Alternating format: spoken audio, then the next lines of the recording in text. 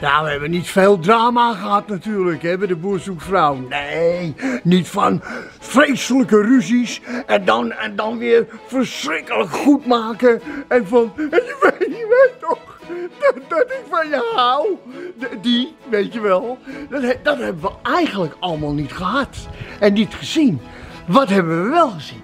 We hebben gezien onze Jan de snuiver, ja. Want die had natuurlijk een klein probleempje met die Nienke, die breiklub.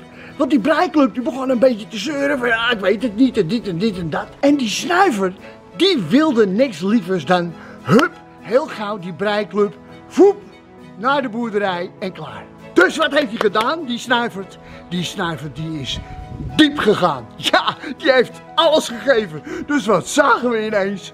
Een, een snikkende snuiver die daar voor zijn breiklubje smeekte. Kom alsjeblieft bij mij op de boerderij. En dat werkte. Ja, ja, ja. De breiklub had geen verdediging tegen een snikkende snuiver. En huppakee, en het was klaar. Goed gedaan, snikkende snuiver. Goed gewerkt. Gefeliciteerd. En dan natuurlijk onverstaanbaar. Ja, onverstaanbaar. Die kwam natuurlijk alleen daar op de reunie. Ja, dat snapt mijn tante. Maar want dat wisten we al. Ja, want die had dikketje dap laten zitten. En trouwens, die onverstaanbaar, die heeft ook nog eens een keer heel onverstaanbaar. Hier, dit, dit. Zie je dat? Weet je wat dat is? Mondvorming in de nek. Dat heeft hij. Want daar lult hij uit. Want hij lult uit zijn nek. Ik hoor hem nu zeggen van, ja nee, ik heb dikketje dap gekozen. Angela boven het skelet, want dikketje dap was rustiger. En dat paste beter bij hem. En wat hebben wij onverstaanbaar horen zeggen?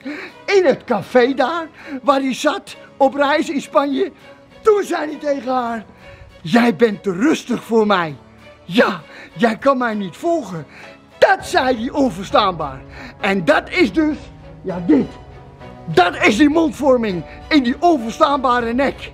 Ja, en dan kom ik natuurlijk bij het hoofdstuk dubbelzinnig. Ja, maar goed, die artistiek, dat heb ik steeds gezegd.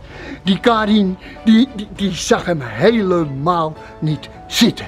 En dubbelzinnig had nooit, nooit voor artistiek moeten kiezen. Had altijd voor batterij Jacqueline moeten gaan. Altijd, maar die had altijd gemoeten. En da- daar krijgt hij nu, ja, je ziet het, ook in Boerzoekvrouw komt de ober langs en die tikt en die komt even afrekenen.